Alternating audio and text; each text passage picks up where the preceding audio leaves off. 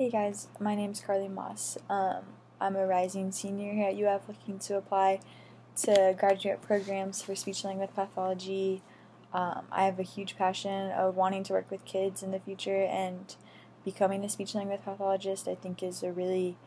um, giving career that brings so much one on one relationship and intervention to these kids. Um, and a fun fact about me is that I love to be outdoors and do any type of hiking or being on the water at the beach in the mountains, like anything outside, like I love. Um, I believe I'm a good fit to a program because I'm a dedicated student wanting to better my education and gain clinical experience in this field. Um, your program is designed to gain this ample clinical experience working with all types of patients from young kids to old, the older population and anywhere in between and also work with any kind of disorders and um, disabilities of all kinds that it's just very unique and provides a lot of opportunity to learn. Um, there's also a lot of classroom work that still needs to be learned, and that would also help add to the actual work experience and gaining the knowledge of what all these disorders are and like how to fix that is also a huge part of it. Um, there's a place, this is a place where I could get the well rounded hands on education and experience that I'm looking for to become the best speech pathologist that I can, and I'm super eager to further my education and experience at your program. Um, the biggest challenge that I might face in grad school is just having to balance the classroom work and um, assignments and quizzes and stuff with doing the clinical work as well. But I think learning how to balance and organize time is a huge thing to learn how to do, and I think that it's something that can help me reach my goals in the future. Um, a time that I had to adjust with a classmate is uh, any type of group project I struggle with because I like to, you know, just do things my way and what I think is right. So having to work with others, it's hard to um, communicate without hurting other people's feelings and not listening to their opinion. So I think a time I had to do that was um, in a class actually like two weeks ago we had a um, assignment where we had to make a brochure about I think it was diabetes and treatments and stuff like that. And the one girl wanted us to do it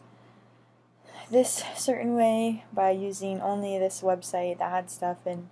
I think that we should have used more resources than just the one so having to kind of work with just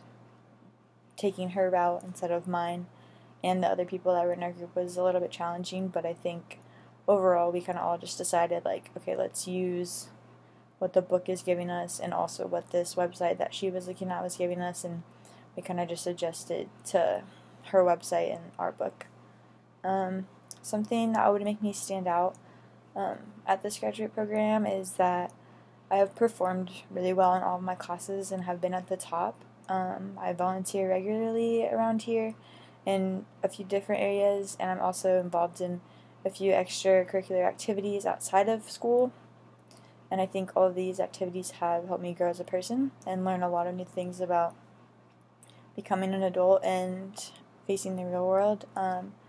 a few of these activities that I'm in is that I work in an elementary classroom a few days a week and get to be involved with the kids of all different abilities and all just different types and different backgrounds and learning styles, and that has really given me the opportunity to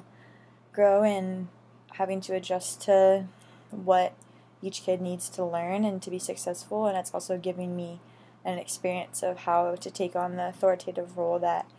I would have to be for kids. Um, another thing that I am super involved in